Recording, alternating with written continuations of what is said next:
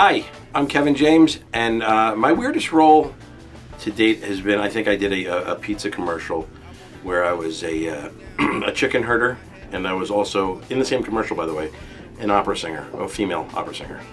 And I was very glittery, and uh, uh, I had a lot of makeup on, but I, uh, I pulled both off.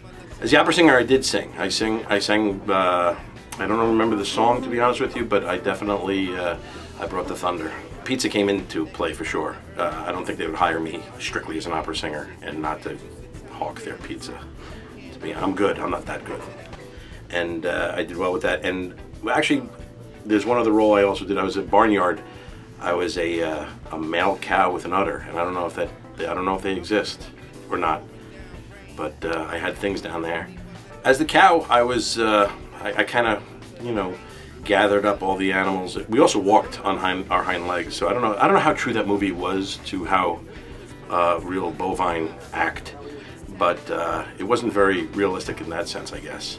So male cow, udder things, and uh, walking on the hind legs was very weird, and uh, that would be. I think that's not the way it's supposed to be, but there was, it, it, that's my weirdest role.